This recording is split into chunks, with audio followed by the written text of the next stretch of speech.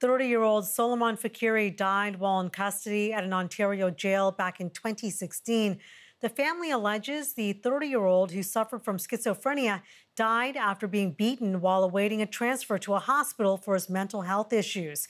Now, Ontario's chief pathologist says he will take over the case, review, and update the post-mortem report into Soleiman's death. Yusuf Faqiri, Soleiman's brother, joins us now. Sir, thank you so much for being with us tonight. How significant is this development for you and your family? Thank you so much for having me. It's long overdue. Uh, we've been waiting for four and a half years for an institution and government to finally do something, uh, something sincere. And this is the first time an institution and government is looking at my brother's case with a real fresh look.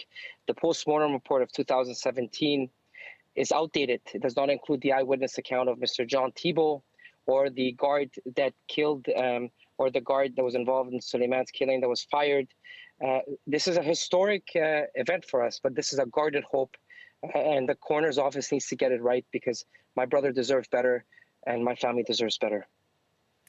Mr. Faqiri, so are, are these uh, the missing elements that you hope to get uh, more information about so your family can seek closure? Absolutely. And this isn't just about Soleiman anymore. This is about all Canadians and Ontarians who suffer from mental illness within the justice system. There seems to be uh, this issue that people with mental illness, when they're in these institutions, it seems that their lives don't have the same value like the rest of us. And we want accountability for my brother.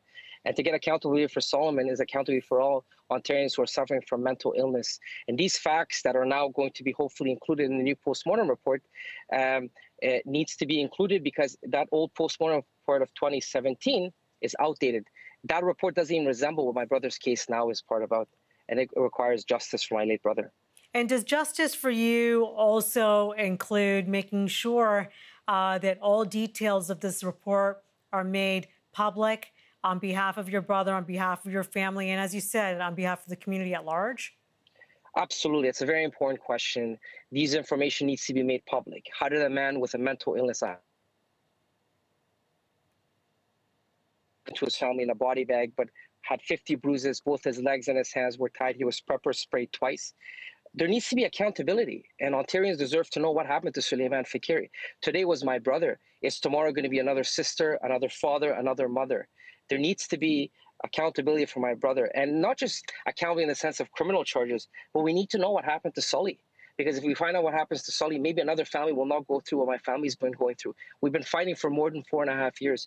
We look forward for Mr. Dr. Pollanen, you know, and his expertise in, in giving us, you know, his new uh, revised postmortem report. But this is a historic event because he took the case over from the old pathologist. Okay, you've clearly uh, been through a lot. You and your family. We do wish you the best, sir, uh, with your efforts. We know this is a very sensitive subject. Thank you for your time tonight. We really appreciate this, Mr. Faqiri. Thank you so much for having me.